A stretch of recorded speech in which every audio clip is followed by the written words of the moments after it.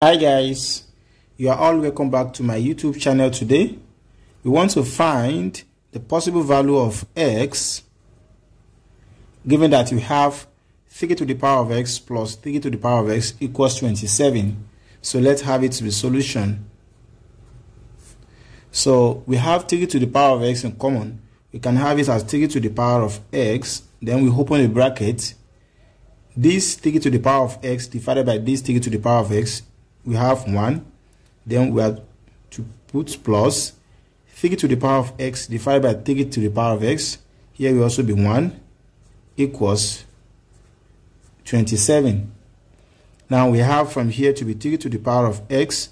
This will be multiplied by 2 to be equals 27 then from here we have to divide through by 2. So this we cancel this and this implies we have 3 to the power of x equals 27 divided by 2. Now from here we have this as this then we need to introduce log to both sides by introducing logarithm to both sides we have log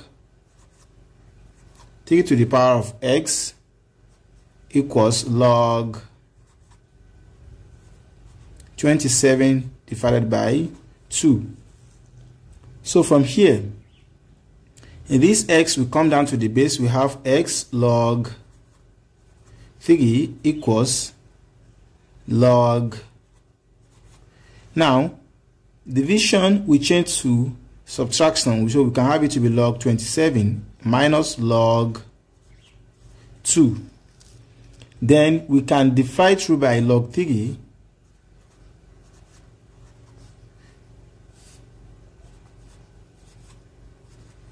So this we cancel this definitely.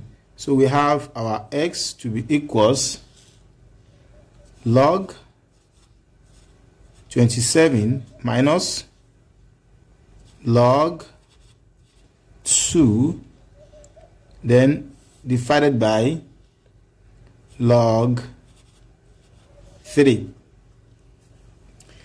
now from here to simplify this further we can leave our answer like this but to simplify further we have x to be equals this will be log of 3 to the power of 3 will give us 27 minus log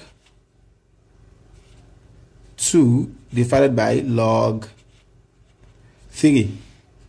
So this will come down to the base. We have our x as 3 log 3 minus log 2 all divided by log 3. So when we divide 2 by log 3, then we are going to have 3 log 3 divided by this log 3 minus log 2 divided by log 3. So obviously, this log 3 will cancel log 3. So this will cancel this. And so therefore we have our x finally to be equals 3 minus log of log 2 divided by log 3 can also be written as 2 log 2 base 3 and this is the final answer for the value of x. So if you are new here and find this video interesting don't forget to share like comment and subscribe to my youtube channel for more maths tutorial videos comments. And here are the steps.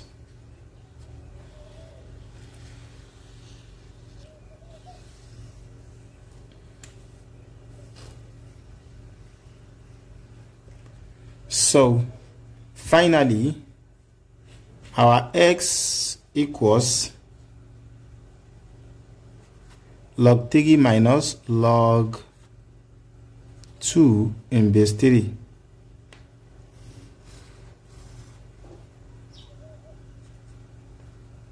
Bye bye.